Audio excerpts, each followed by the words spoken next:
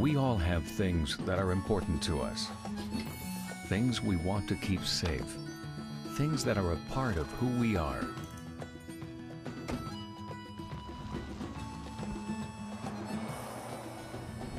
And when something threatens these things,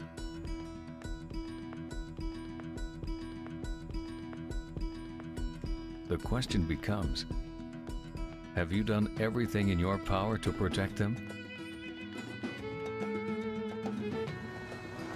At Tekonsha, we ask ourselves that question every day.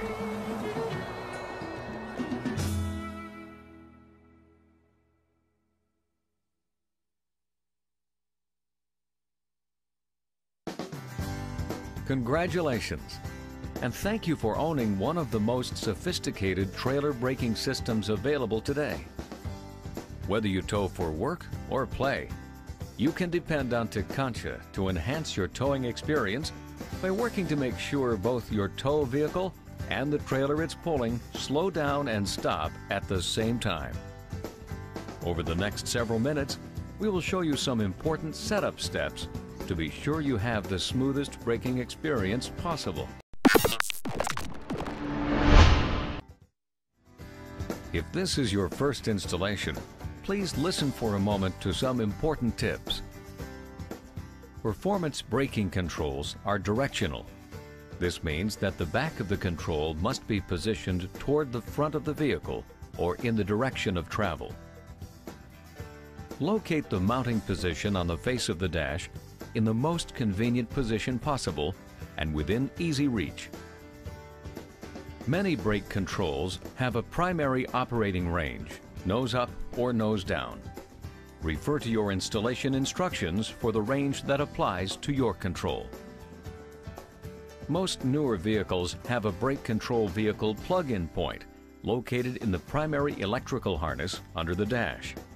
Use the vehicle-specific wiring harness, sometimes provided by the automobile manufacturer or available separately from your brake control supplier, to connect the brake control wiring. Then plug it in under the dash. If your vehicle is older or does not provide a plug-in point, use the generic wiring instructions provided with the brake control, or see your dealer for installation details.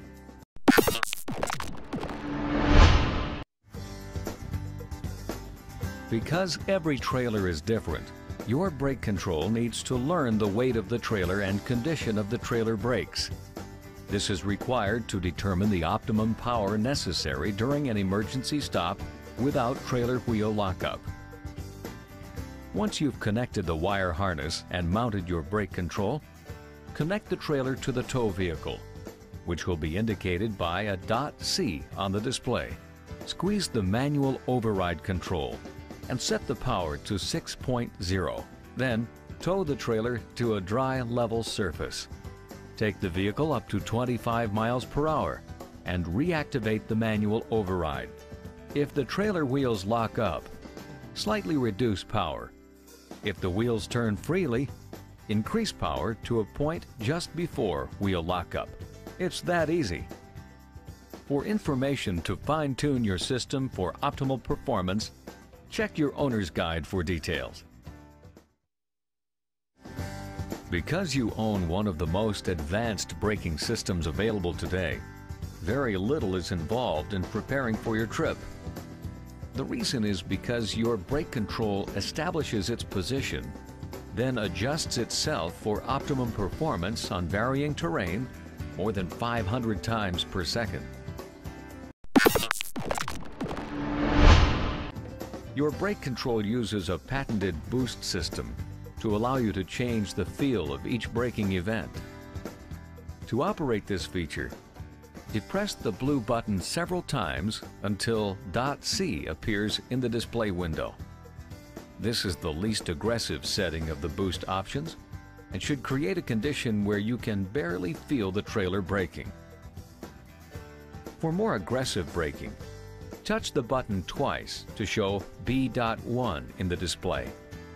This setting makes the sensor more sensitive to motion and delivers current to the trailer brakes slightly ahead of the tow vehicle's braking system. Two touches more reveals B.2 in the display and an even more aggressive braking feel. Two more depressions of the boost button takes you to B.3. This setting will be required when the trailer being pulled is significantly heavier than the tow vehicle. Never pull a trailer that exceeds the vehicle manufacturer's recommended gross combined weight rating. Thanks for watching. We'll see you on the road.